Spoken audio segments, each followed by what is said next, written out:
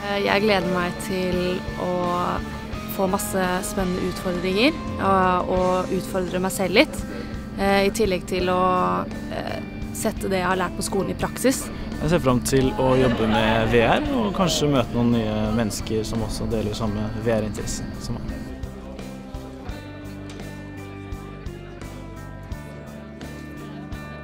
Jeg kommer til å jobbe i et eh, veldig utfordrende og spennende prosjekt eh, som er eh, dagsaktuelt og, og interessant både teknisk og ja, Vi får lov til å være med på alt sammen. Jeg tror det blir veldig, veldig moro.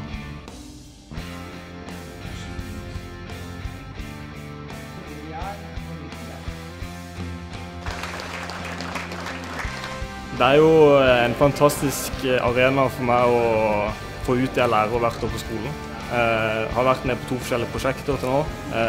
I år så er jeg på et Pingu-prosjekt, hvor jeg skal drive litt med 3D-printing, en del lodding og litt GUI-programmering. Superinteressant.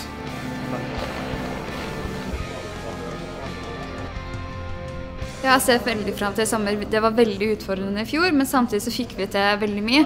Og da blir det morsomt med alle de utfordringene, når man ser at det gir noe.